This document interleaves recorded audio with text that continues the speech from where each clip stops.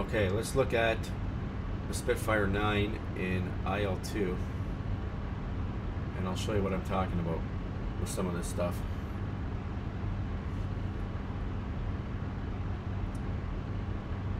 So we need the, uh, right, we need the turn and slip indicator there.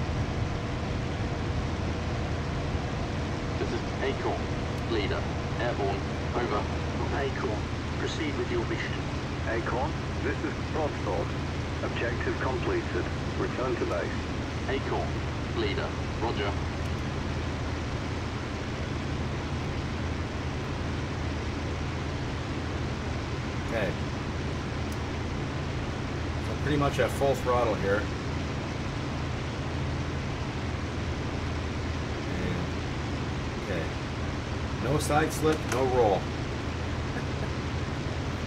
Nothing.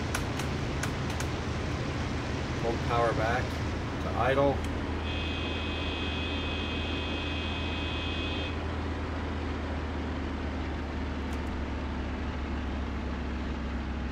Power's at idle, no side slip, no roll full throttle. It rolls a little bit, right? So now it rolls a little bit, only because of the side slip. As soon as I take the side slip out,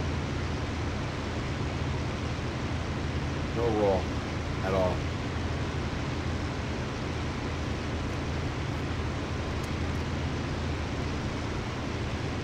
So for adverse yaw,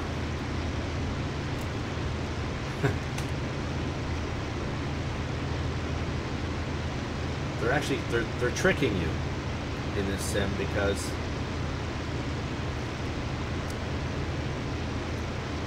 the side slip indicator is off by a factor of 10.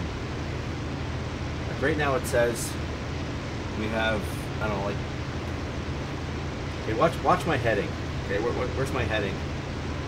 325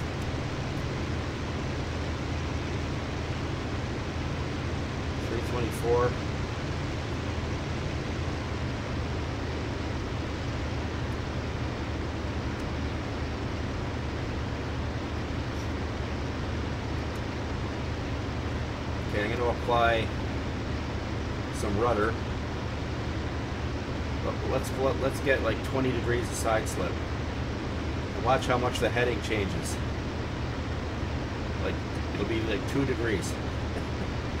I'm gonna go right rudder right now. Okay, there's there's 20 degrees right there. Look at heading only changed two degrees. That's it.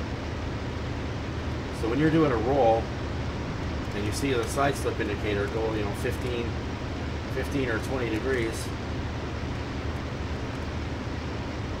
you know, the indicator is correct. Like that's what the airplane should be doing. 15 to 20 degrees of side slip coming out of a roll.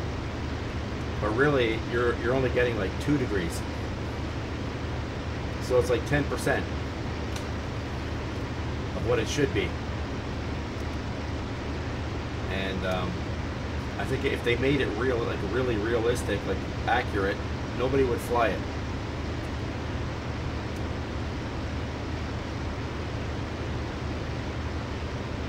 So they're kind of tricking you a little bit by making the indicator read correctly, but the airplane's not doing what the indicator says it's doing. And, I, and that's on purpose. I don't think that's a bug. I think they're, they're doing that on purpose because they know if they actually made the airplane slip 15 degrees, like it would be so sloppy, you know, nobody would even fly it. Pretty sure.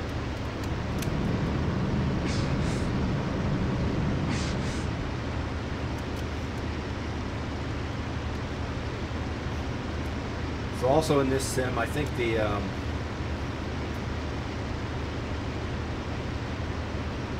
if I if I do so, like a double rudder kick, I'll go left rudder, right rudder, and then we'll watch watch the oscillations. So let's go left, right.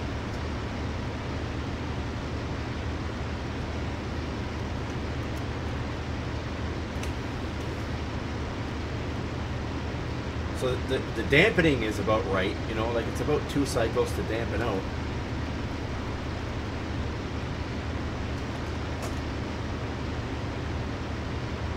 But it's way too fast. Like it's the, the, the period is too short. You know, the frequency is too high, the, the period is too short. It just oscillates too quickly. What's the reason for that? I don't know. But compared to DCS, like DCS is better in that regard. It's much more accurate. Um,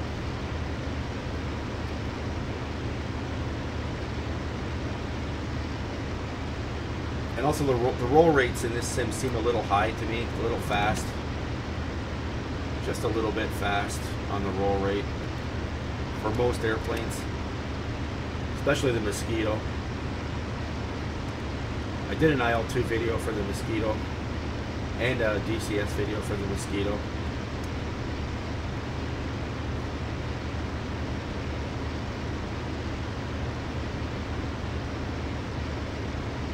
But yeah, that's pretty much it for for this